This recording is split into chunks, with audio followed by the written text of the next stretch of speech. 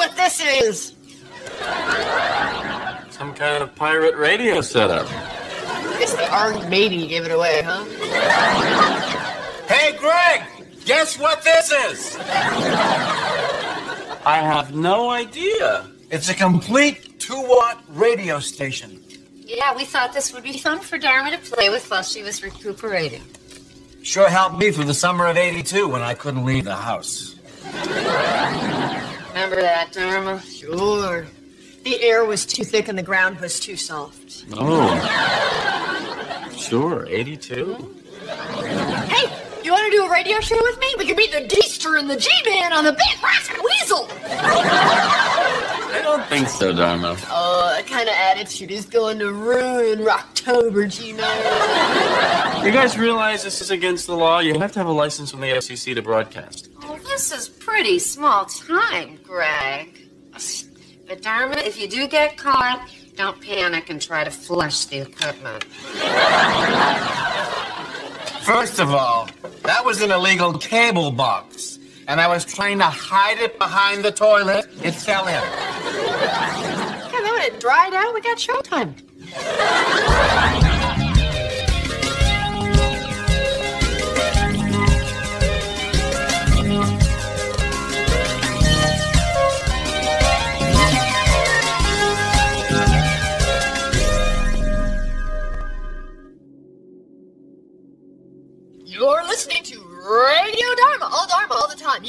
22 minutes, I'll give you the Dharma. Radio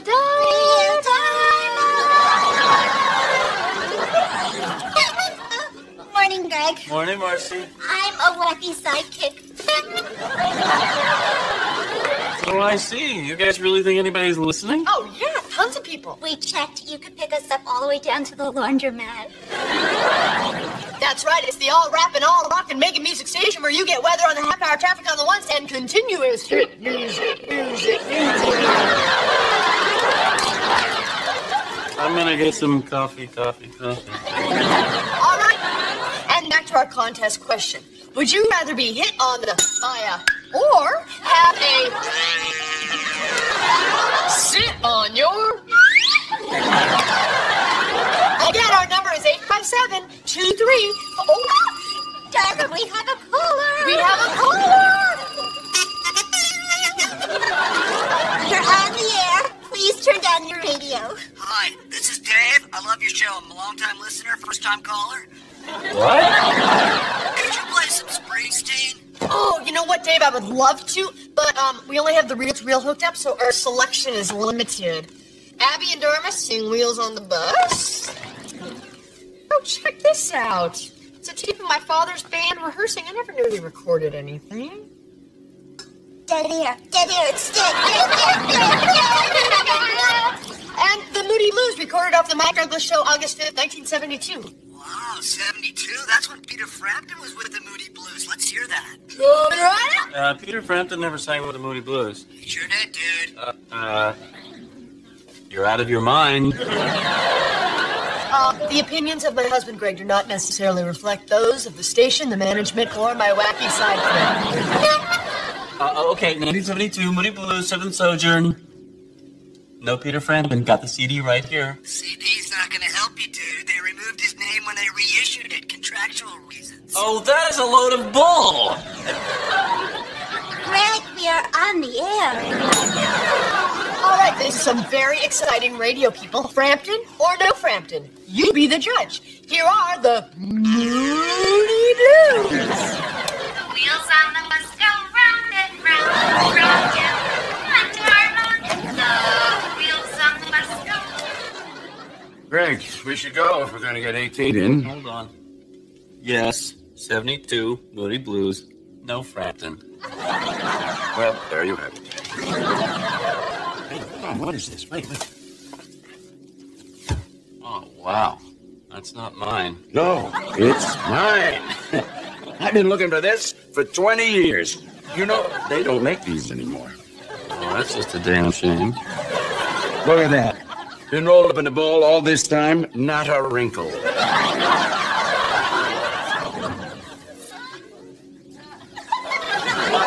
the fish around in that box, Greg, there should be a pair of burnt orange hush puppies. Oh, I wonder what got into your mother there. I can't imagine.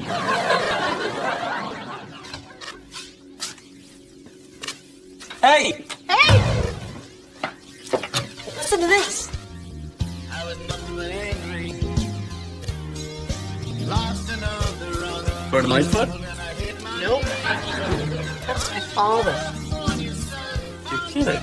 No. It's good. I know. It's our number one most requested song. Really?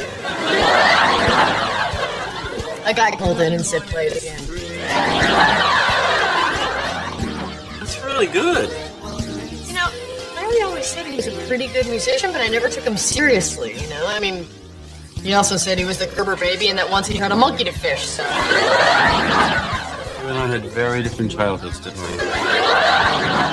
He really was a good musician. I gotta wonder what happened. You know how it is. People get busy, they start a career. No, that's not it. Probably not.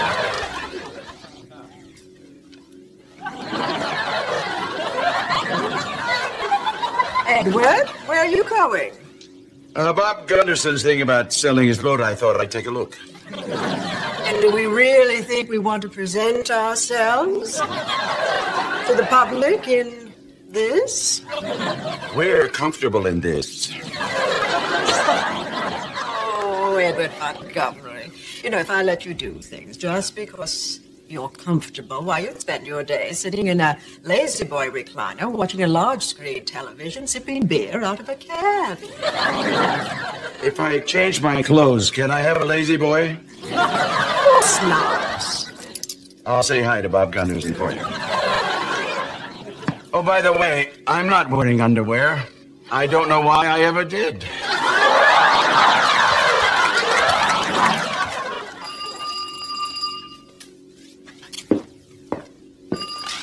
Hello? Uh, no, they turned off the radio station. Because my wife had to go to physical therapy.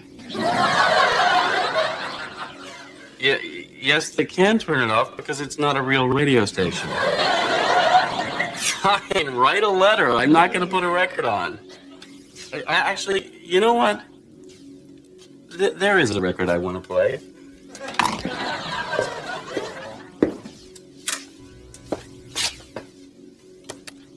Uh, uh, okay. Um,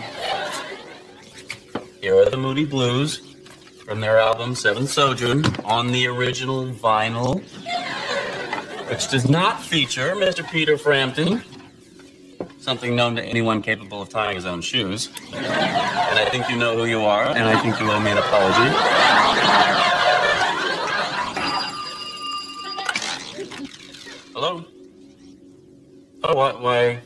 Why? Thank you, ma'am. Uh, w- would you mind saying that on the air? Uh, hold on. Uh, uh, go ahead. Okay.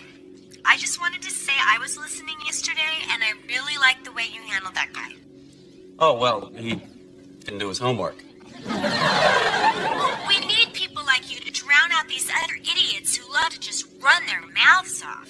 Well, well, I, I, I'm just one guy, but I do what I can. They're can. all a bunch of crackpots. Elvis is alive. Cigarettes cause lung cancer. I see spaceships. Well, well, wait, hold, hold on there. I, I think it's pretty widely accepted that cigarettes do cause lung cancer. Says you. Well, yes, in 40 years of research. By doctors who are paid shills of the chewing gum industry.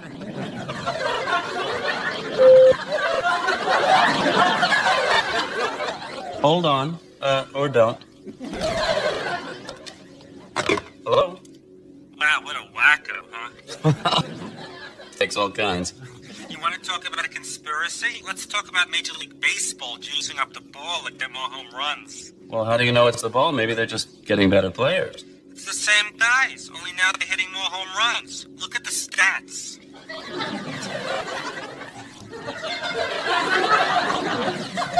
It's an interesting question. Major League Baseball, are they juicing the ball? What do you think? Give me a call.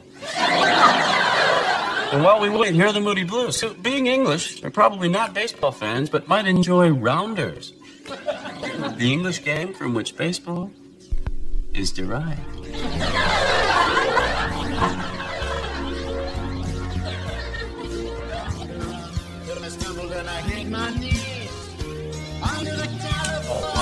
I used to love that song. Who is that? It's you, Larry. Oh, wow. Yeah. Hey, Harry, listen to that. Your old man wrote that. So, Larry, did you ever do gigs? Like, Did you ever get up on stage and yell, "Hello, San Francisco"? The Closest I ever got was, Hello, Shapiro Bar Mitzvah. Oh man, they did this 26 minute freeform Hava Nagila. It's a tough one to end. Should have seen your father in those days, Dharma. He loved performing. He would get on stage and just light up. Once. And everyone did back then. So why did you quit? You know, music. Let me explain something to you about the music business, Dharma. You can't get anywhere unless you're willing to sell your soul to corporate America for a sack of magic beans, a handshake, and a one-way ticket to where are you now? Phil. Abby, why did he really stop? He was just starting out, and he knew he'd be on the road, and you were on the way. He gave it all up because of me? No, he gave it all up for you. How is that better? That is not better. The running suit, Gregory. The ugly orange velour running suit. He was with you when he found it, and he has not taken it off since. Wow. So what do you think, people? Is Dan out of line, or should Mother take a chill pill? Our lines are open. What people? Who are you talking to, Gregory? Sorry, Mother, it's the top of the hour. Gotta go. Time for As I See It with Greg Montgomery. This is San Francisco, folks, and it rains from time to time. If you're a local television station, there's no need to send your weatherman outside. We know what rain looks like. Just tell us it's raining, and do it from a regular desk, not from Action Storm Watch Central. And remember, folks, we've got 99 years to go. Let's not be hasty in naming something the storm of the century. Think about that while Mr. Leo Sayer makes you feel like dancing.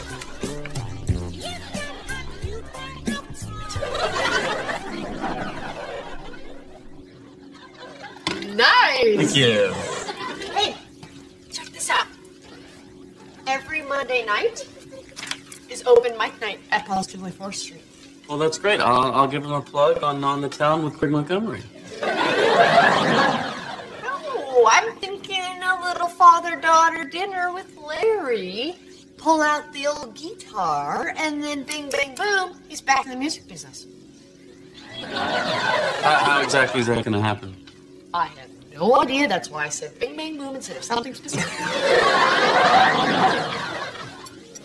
Wow, that was good. Promise you won't tell Abby I had meat. that was eggplant, Larry. Oh, man, I could have had meat. What? They have an open mic night going on here. Cool. There is not one dessert here you could add meat to. I signed you up. To sing here? Yeah, I'm thinking you get back on stage, you know, work your songs, get your chops Whoa, back. hang on. I don't even have my guitar. It's in the car. I'll go get it. No, stop. Wait. Take a look at these people. They don't want to hear from an old guy like me. Larry, it's open mic night. Nobody wants to hear from any of these people. Sorry. Rock on. Dharma, I'm not gonna sing. I haven't rehearsed. I'm Logie from the eggplant. Okay, fine. We'll go practice, then you'll come back next week, do a couple Mondays, and Dharma. then I. I'm not gonna play. Not now, not ever. What? What? What's the point? The point is you love music, you could be great. No, maybe once. But Come on. Dharma, let it go. Why? Because I'm the father, and I said so. Because I'm the father and I said so? Come on, Larry, you're kidding, right? I'm 52 years old, and I have other things to do with my life now. Okay, fine. Larry? Fine, you have your excuses. You always have your excuses. Well, you know what? Don't use me as one of them. Come on, Marcy. Dharma! Dharma!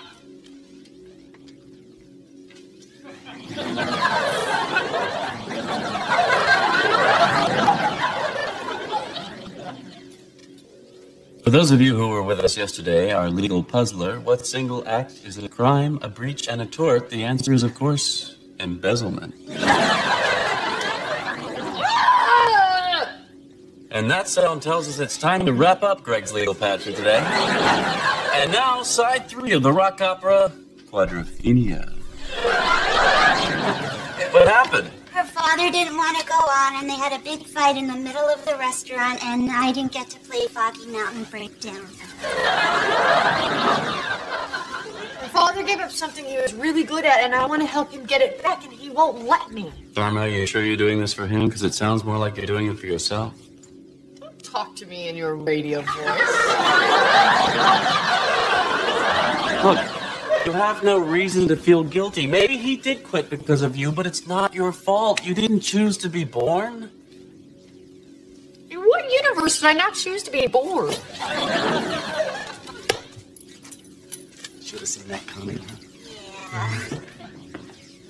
Do you know the transmitter's unplugged? What? Uh, we must have forgotten to plug it back in after we were using the heating pad. Marcy, when when was this? Oh, yesterday.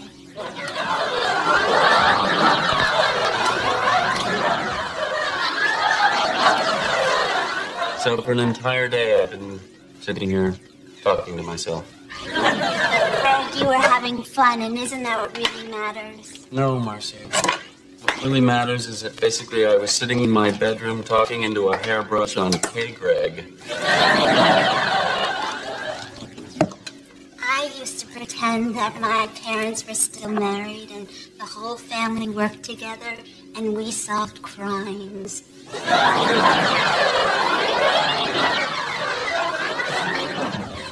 Thank you, Marcy. Somehow that actually makes me feel a little better.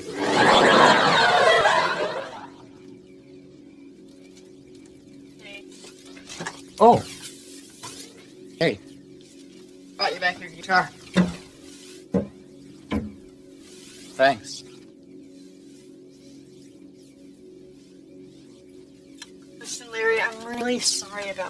Happened.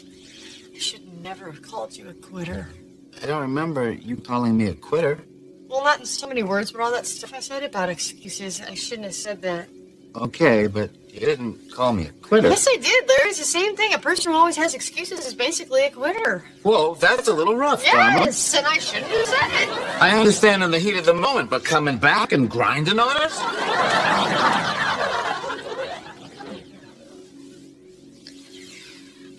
Guess what I'm trying to say is that if you stopped your music career because I was born, then that's something that I should be proud of. You know, I mean, how many other kids have a dad that would make a sacrifice like that? Dharma. Let me show you something.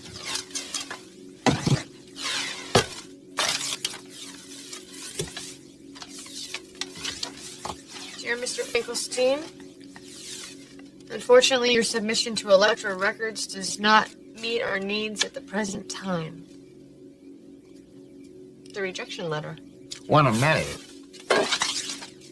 Not suitable, not interested. Columbia House of Records and Tapes is not a recording company.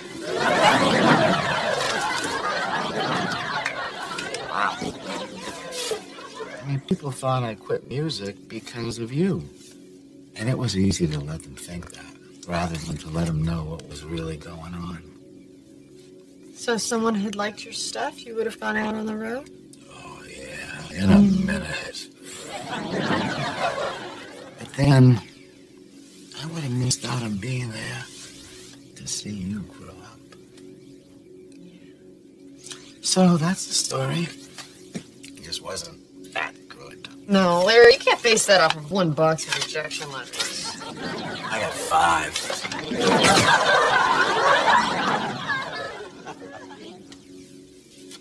Well, I really loved your song. Maybe you were just ahead of your time. You know, that's what they said about my spray on gravy.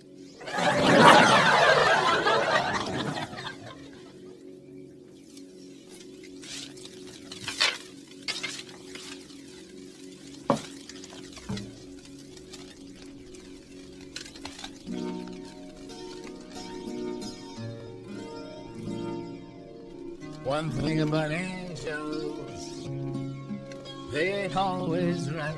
We had a little baby girl made from San Francisco light. We call her Dharma. Cause the truth was plain to see. The miracle of life. One and one is three.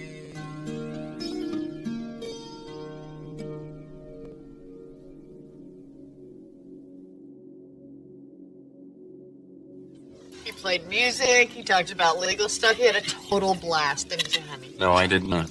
Well, not now he didn't, but then he did. Do your radio voice for them. Can we just drop this, please? Good, smooth. I say, if a man finds something that makes him happy, more power to him. Would you like some more? Yes. Oh, sorry. Oh, no, no, no, no, no problem. It's 100% synthetic.